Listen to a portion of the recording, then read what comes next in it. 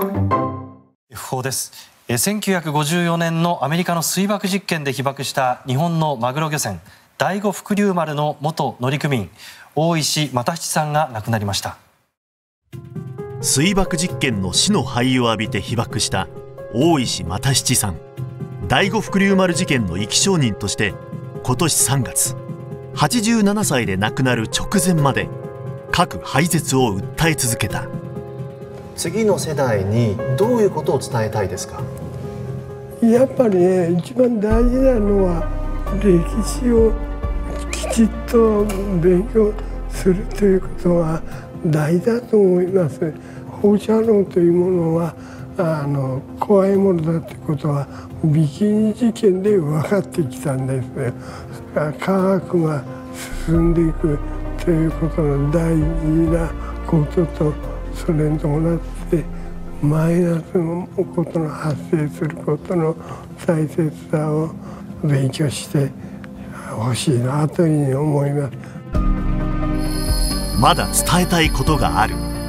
こう言い残して亡くなった大石さんが命を懸けて伝えようとした。ビキニ事件の真実とは。そして第五福竜丸の悲劇の裏にあったアメリカの人体実験疑惑に迫る。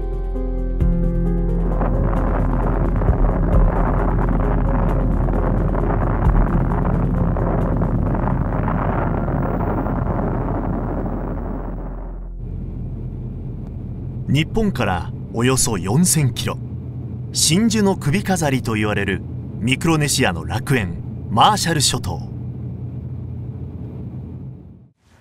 マーシャル諸島共和国の首都マジロに来ていますアメリカは1946年から58年にかけてこのマーシャル諸島で合計67回合わせて100メガトン以上の核実験を繰り返していました Hundreds of Roentgens per hour were measured on and Bikini Islands. アメリカは太平洋戦争中に当時日本の委任統治領だったマーシャル諸島を占領。終戦翌年から核実験を実施する。最初の核実験場としてビキニ環礁を選定。アメリカの軍人が上陸し島民たちに歌詞を与えてこう宣言した。That uh, the United States government now wants to turn this great destructive power into something for the benefit of mankind.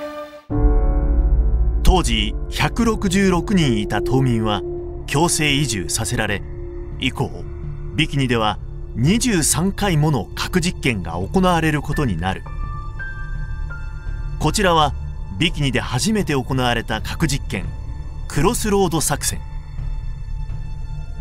核兵器が戦場で使用された場合を想定し標的として艦艇75隻を配置。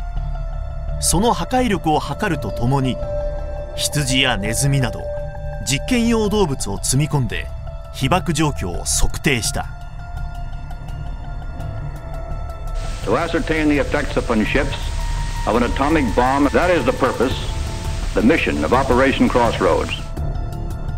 最初は船や実験動物でもよかった。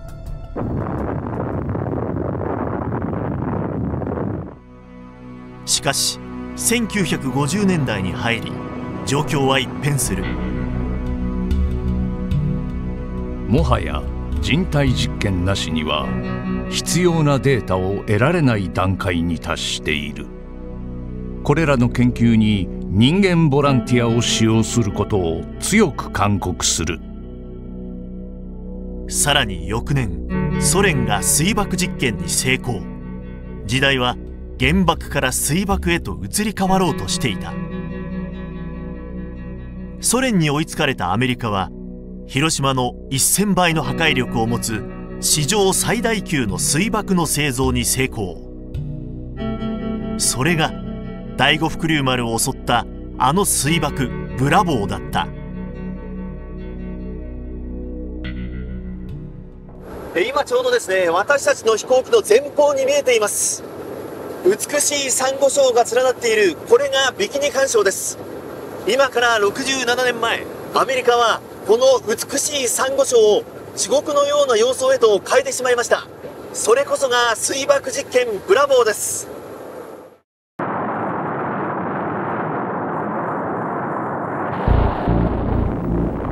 アメリカがビキニ干渉で実験を敢行した水爆ブラボー。赤い火の玉は直径40キロ。キノコ雲ははるか成層圏を超え上空3万4000メートルに達した。爆発の威力は広島型原爆の1000倍の15メガトン。67年前ビキニ近海で操業していた一隻のマグロハエ縄漁船がありました。第五福竜丸。こちらがその現物です。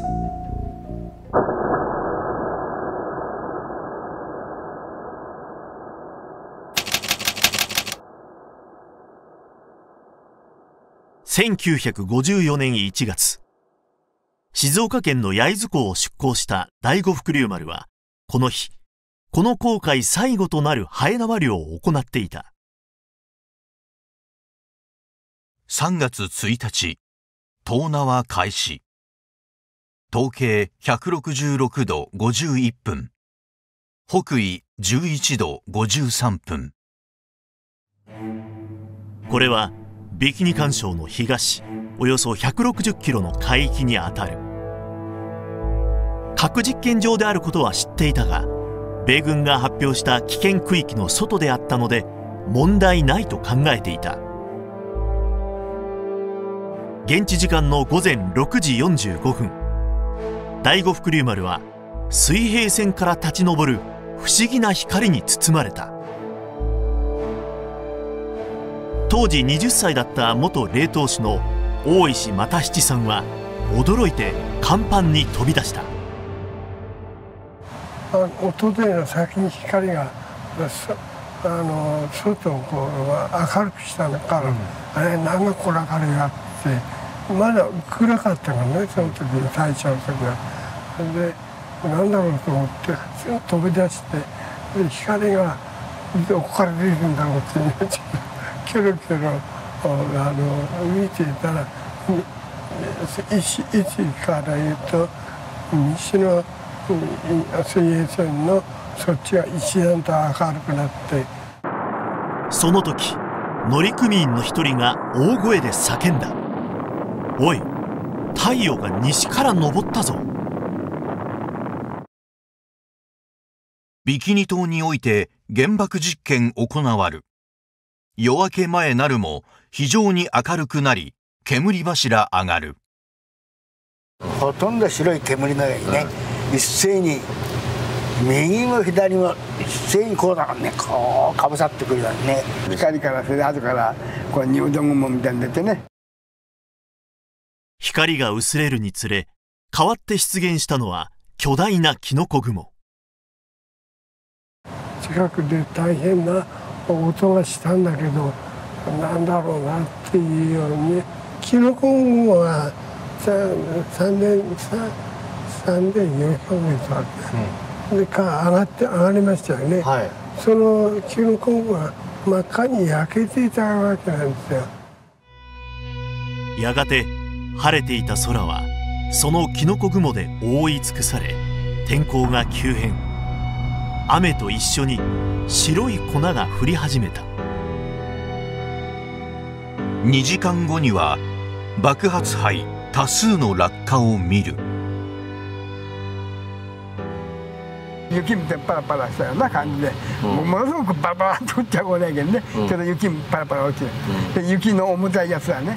顔にくっつけついたやつをあのこうしたやつになりましたね、はい、ああ、ご自身は？いや私はもう不思議だからみんなそれやりましたあ舐めてみた？いやみんな舐めました。で味もないしあの匂いもないしって。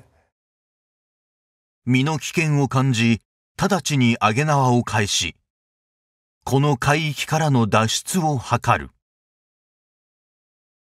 異変はその日の夕方にあの頭痛とか吐き気とかあのそういうことが直接起こりましたね。ひどく頭の毛が抜けたり顔がねあの黒く焼けたり皮がむけたりしてたから。それは死の肺に含まれた放射性物質で被爆した急性症状だった。第五福竜丸が焼津港に寄港したのは被爆から2週間を経た3月14日未明のことでした。その2日後に読売新聞焼津支局員が船員たちの被爆をスクープし日本中に衝撃が走りました。記事が出た日の午前中早くも調査団が現地に入り船からは自然界の5000倍に達する高濃度の放射性物質が検出され死の肺が採取された。これが第五福竜丸に降り注いだ死の肺の現物。分析の結果27種類の核分裂生成物が検出された。そういう放射性の物質をたくさん持っております肺と一緒に2週間近くも生活してこられたんでありますから体の中にある分量入っておるものと思われます。初めはひどかったですね。特にどこが？いや頭髪があの被爆による、うん、影響が出てもう放っておくとどんどん貧血進行するし。死の灰をかぶった乗組員たちの症状は深刻でした23人全員が急性放射脳症と診断され病院に収容されました。これでみんな死んでいくのかなっていうにあの死というものをその辺からあのこう自覚っていうか、うん、あの自分の身近に死が迫っているのかなっていうことを思うようになりましたね。中でも無船長だった久保山さんの病状は深刻で被爆から6ヶ月。ついに帰らぬ人となる。去年40人類初の水爆犠牲者であった。骨髄もやられてるし肝臓も悪いしもう全身の臓器みんなですね。体中やっぱ放射能まみれだったという、えー、それは確かですね。その後の検査で久保山さんの臓器全てから放射性物質を検出。死因について日本側の医師団は急性放射脳症と発表したがアメリカ側はあくまで輸血治療による肝炎と主張。水爆実験との因果関係を認めようとはしなかった。それだけではない。こちらはアメリカの国家安全保障会議の機密文書。日本人の過剰反応は核実験の続行に支障をきたす。日本への情報工作の強化が必要だ。そして日本人の嫌悪感を除去するアクションとしてある工作が指示された日本人患者の病気の原因は放射能ではなく飛び散ったサンゴの化学作用によるものとせよ。被爆という事実さえ封印しようと奔走するアメリカ。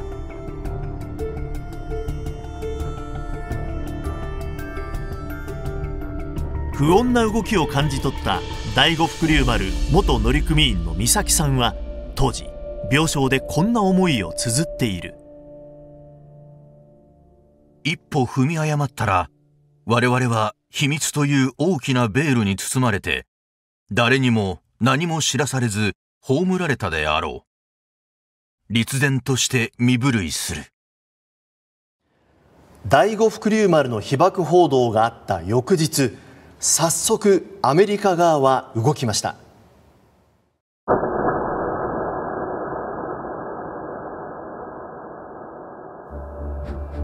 1954年3月17日当時の駐日大使アリソンは外務省を訪れこう申し入れた。アメリカ側は安全保障の問題を特に重視している。第五福竜丸に関連する機密を保持してもらいたい。アメリカ側が一番こだわったのは情報統制だった本件関係者の外部への発表を審査し検閲するようにされたい。アメリカ側に協力し機密漏洩を防止すべし。日本の政府でもって本当はやるべきこと。だ日本の国が世界に向かって核兵器を廃絶しましょうと。これは絶対反対していかないとまずいよね。核実験はね。さらにアメリカ側はビキニ事件をめぐって違法行為は一切なかったと主張しました。アメリカ側はビキニ実験を国際法上の不法行為とする見解は絶対に取り得ないので損害賠償として支払うことはできない。慰謝料として支払う建前を取りたい。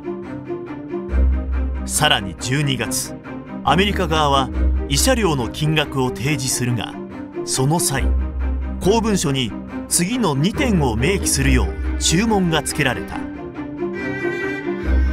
1本件保証は人道的考慮とアメリカ側行為に基づき法律上の責任を全く度外視して行われる。2不幸にしてさらに死者が出ても追加の支払いは行わない。翌年1月鳩山内閣はアメリカの言いなりとなってビキニ事件の政治決着を図る。日本政府は慰謝料200万ドルを全ての請求に対する完全な解決として受諾する。乗組員に渡された見舞い金は1人平均200万円。それが保証の全てであった。この日米政治決着によって被爆という事実さえ封印されたのである。なんてひどい国なんだろうっていうことは思っていまして当時はアメリカの言うことは全部正正しくて日本はそれに従う国ことなんだっていうことは、まあ、常識というか当たり前のように動いていましたが、まあ嘘とかあれも平気で通る時代だったんじゃないですか。しかし第五福竜丸の乗組員はその後も後遺症に悩まされ続け23人中12人が肝臓がんなどで若くして死亡現在存命中の乗組員も多くが C 型肝炎を患っている。大石さんも C 型肝炎と肝臓がんを発症したが今でも日本政府は被爆とは無関係とし原爆医療法の対象外となっている。大石さんが一緒にこの船に乗っていた仲間の23人のうちもうだいぶ多くの方が亡くなられましたよね。そう亡くなってった方々に対しては今どんなお気持ちでいらっしゃいますか？これは全くあのかわいそう気の毒だと思います。本当は私と同じ考え方で悔しい思いを持ちながら死んでいったと思うんですよ、うん、事件を風化させないそう誓い死の間際まで伝え続けた第五福竜丸事件の生き証人大石又七さん。今年3月87年の生涯を閉じた。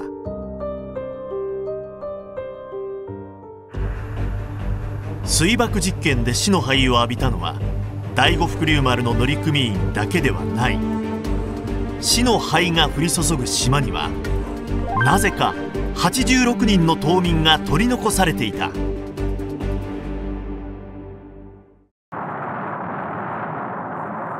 放射性物質を含んだ死の灰は1万8000平方キロ。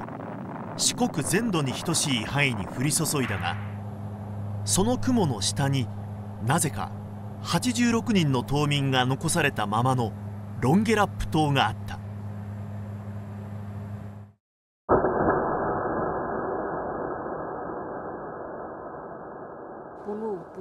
みたいな感じでした。白とか青とか赤とかオレンジとかいろんな色が見えました。午後になると白い粉がたくさん降ってきました。食べ物とか飲み物にその灰が積もってそれを食べてみたけど味もおかしいし捨てました。子供たちは絵本でしか見たことがない雪だと思って死の灰で遊んだという。当時まだ幼かったネルジェさんも死の灰を浴び髪の毛が抜け落ちた。これがあの当時のネルジェさんの写真だと思うんですけど私ですね。今は見て笑えるけど今まで生きてこれたことに感謝しています。ロンゲラップ島民は水爆実験の2日後放射性物質に汚染された島を離れた。3年後の1957年アメリカが突然安全宣言ロンゲラップに帰島するが島は汚染されたままだった。若者は白血病で亡くなり女性は死産や流産を繰り返した。体は人間の形をしていましたが頭はタコみたいな。奇形の子供が生まれたりしました。島民は子供たちの未来を考え帰島から28年後の1985年に島を脱出。全島民325人が再び故郷を捨てたのだ。今ロンゲラップ島はどうなっているのか。ちょうど今このロンゲラップ島の上空に差し掛かりました。非常に細長い島です。あのブラボーによりまして大量の死の灰を浴びました。私たちはこれからこのロンゲラップに上陸します。高濃度の放射能に汚染された島ロンゲラップ島。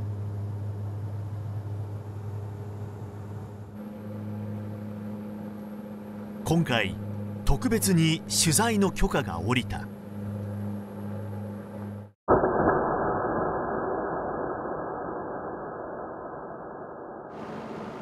その後アメリカはおよそ50億円をかけてロンゲラップ島を除染。2010年には安全宣言を出し再定住を促した。あそして今いきなりあの家が見えてきましたね。これがあのいわゆる復興住宅ですね。えここで住民を待っているという状況なんですがいまだに住民はこの島には戻ってきていません。被爆への不安から安全宣言後も故郷に戻る者はいない。その背景にあるのはアメリカへの不信感だ。United States says that now the Longelap Island is safe to live まだ怖いですね。除染されたところは3分の1だけです。それとロンゲラップの島民とアメリカとの信頼関係に問題がありますなんとロンゲラップ島民の被爆は事故ではなく人体実験だった可能性が高いというのだ。水爆実験ブラボーが実施された時このロンゲラップ島では死の灰が降り放射能に汚染された中島民たちは島の中に丸2日間取り残されたままでした。それまでの核実験の際にはここから南へおよそ250キロ離れたラエカン礁に避難させられてきていたんですがこのブラボーの際にはなぜかアメリカは疎開措置を取りませんでした。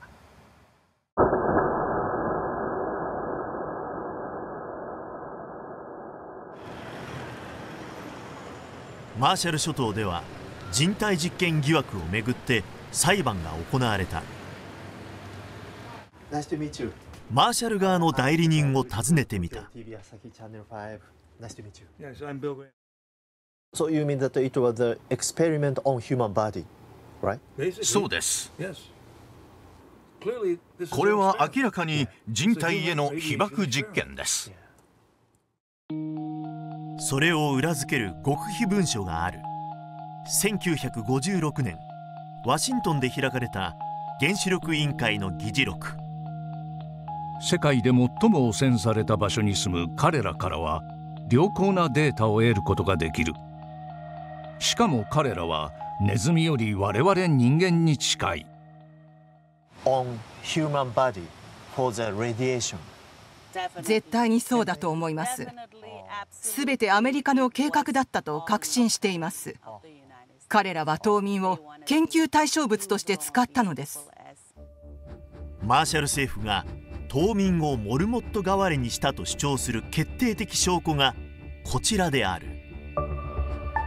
報告書によると確かに前日の午前中までは水爆実験にとって理想的な風向きであった。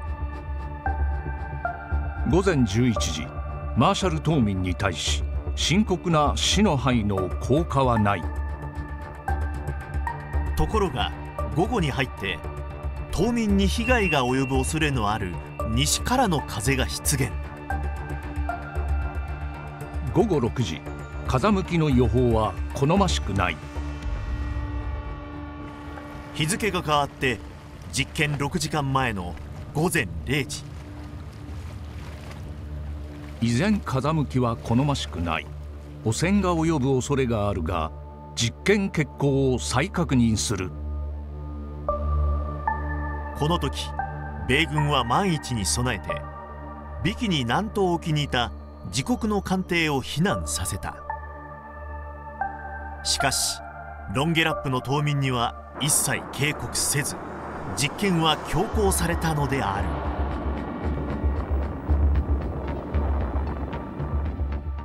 風がどの方向に吹いていたのか知っていました。ロンゲラップの方向に吹いているのを知りながら朝6時に爆発させたのです。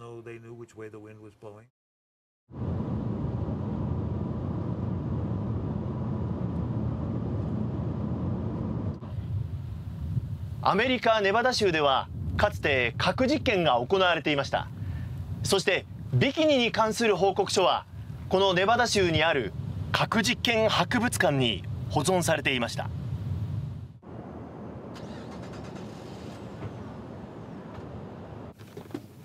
ああありましたね。これだ。あこれですね。水爆実験の4ヶ月前に策定された24の研究プログラム。そのプログラム4生物医学研究の第一項目に死の灰を浴びた人間の研究とあるすなわちプロジェクト4.1はあらかじめ島民の被爆を想定していたことになる。こちらがプロジェクト4.1の報告書です。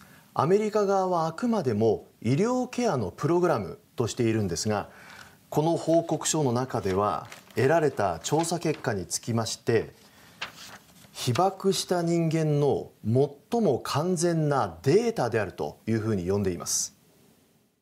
そして実験からわずか5日後早くも空軍内に生物医学チームが設立されプロジェクト4.1がスタートする。彼らは妊婦12人を含む特定の被爆者集団を選別。これは当時の島民の写真。アメリカは被爆者に番号を振って健康に関するデータを細かく記録していた。プロジェクト4.1の報告書は人間が死に至る放射線量をおよそ225ラドと結論付けている。この数字こそ核攻撃の作戦立案には欠かせないアメリカ軍がどうしても欲しかったデータだったのだ。アメリカは抗生物質の投与に反対しました。正確なデータが得られなくなるからです。彼らは治療より実験を優先したのです。ほとんど治療を行わず定期的に観察と検査を繰り返すばかりのプロジェクトの医師たち。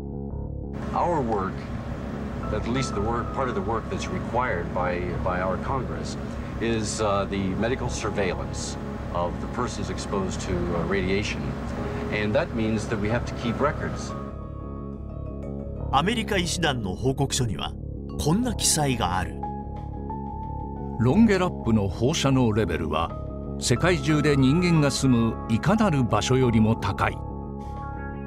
その島に彼らが住むことは最も価値のある生態学的な放射線データを提供してくれる。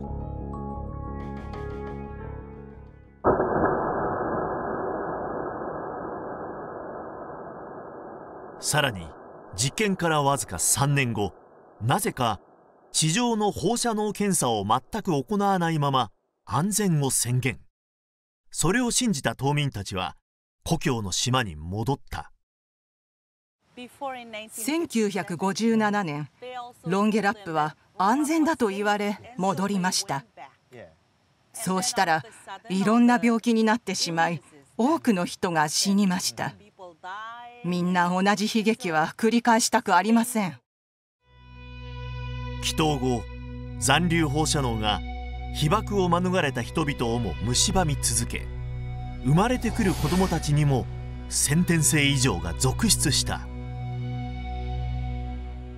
流産もしました。悲しいことなのであまり覚えていません。島民たちが再び島を脱出したのは28年後のことだった。2010年アメリカは除染作業が終了したとして再び安全宣言を出したがロンゲラップ島に再定住する者はいない。人体実験疑惑があるのはロンゲラップ島民ばかりではなかった。第五福竜丸の乗組員たちも数奇な運命をたどることになる。日米政治決着で封印された被爆者たち。しかし実際には彼らもアメリカの調査対象だったのだ。不幸な23人に対してある種の実験が行われた。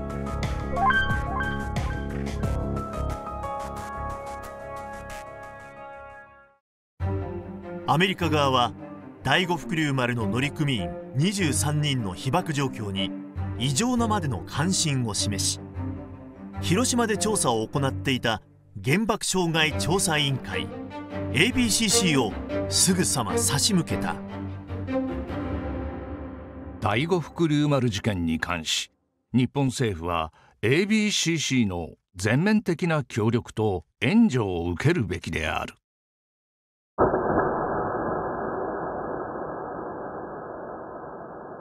アメリカ側はいち早く医師団を送り込んで材料を取りたかったわけです。入院先にも何回も来ましたし直接サンプルをよこせとか。アメリカ側の要求は8項目に及ぶ検査。見舞いの言葉もなくただ観察したのみの態度に患者や医師たちは激怒した。アメリカの試験台にされることはまっぴらなり。治療の対象としてよりも実験の対象ではないか。久保山さんはじめ乗組の人はみんなモルモットにされたんじゃないかという意識を持ってましたよ。みんな感じてるから情報はなるべく素直には出せなかった。こちらはですね第五福竜丸事件における日米科学者の関係という被爆3か月後の極秘文書なんですね。この中で ABCC のモートン博士は検査を拒んでいる日本側の医師の対応を激しく非難しています。日本側はアメリカ人の検査を拒み続けた。おかげで自由世界の国防上大変価値のあるデータを失ってしまった。さらにこの極秘文書の中では不幸な23人に対してある種の実験が行われたとも記されているんですね。つまり乗組員たちを患者ではなく実験用のサンプルだとみなしていたことがよくわかります。被爆した久保山さんの遺体は病理解剖されたがそれは放射能症の治療に役立ててほしいという遺言によるものだった。しかし東京のアメリカ大使館から送られたこの極秘伝聞によりますと久保山さんの遺体の解剖にはアメリカ人の医師が立ち会っていました。さらにこちらのメモからは久保山さんの肝臓や骨髄など組織の一部が密かにアメリカに運ばれてアメリカ軍病理学研究所で調査されていたことも判明しました。被爆の島ロンゲラップの取材には元島民も同行した。被爆の影響とみられる胃がんで亡くなった父親の墓参りのためだ。ここは私たちやお父さんの土地なので元に戻してほしい私の欲しいものは全てこのロンゲラップにあります。もう二度とこういうことが起こらないでほしい。No more nuclear.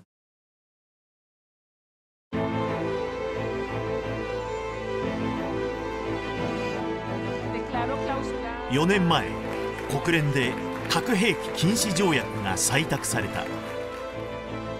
マーシャル諸島の元国会議員アバッカさんも国連で核兵器廃絶を訴えた。私たちは完全にそして永久に核実験を廃絶するまで運動を止めてはいけません。この条約では核で被爆した人への補償や放射能で汚染された環境を元に戻すことが義務付けられたあの条約が認められた時私は泣きました。このことに実に長い間関わっています。マーシャル諸島には必要なことなんです。そして今年1月50以上の国と地域が批准してついに核兵器禁止条約が発効した。しかし条約に参加しないアメリカにその義務は生じない。そしてアメリカの核の傘に守られる日本も不参加。現状では核兵器国の支持が得られていない。現実の安全保障上の脅威に適切に対処しながら地道に現実的に核軍縮を前進させる道を道筋を追求していくというのが適切である。被爆国でありながら核なき世界への第一歩に参加しない矛盾を抱えている日本。今年3月87歳で亡くなった第五福竜丸の元乗組員大石さんは生前こう警鐘を鳴らしていた。次の世代にどういうことを伝えたいですか？やっぱりね一番大事なのは歴史をきちっと勉強するということは大事だと思います。科学が進んでいくということの大事なこととそれに伴ってマイナスのことが発生することの大切さを勉強してほしいなというふうに思います。ご視聴ありがとうございます。アベマアナウンサーの西澤由美です。アベマならご覧の番組をフルで見放題。動画の続きはここをクリック。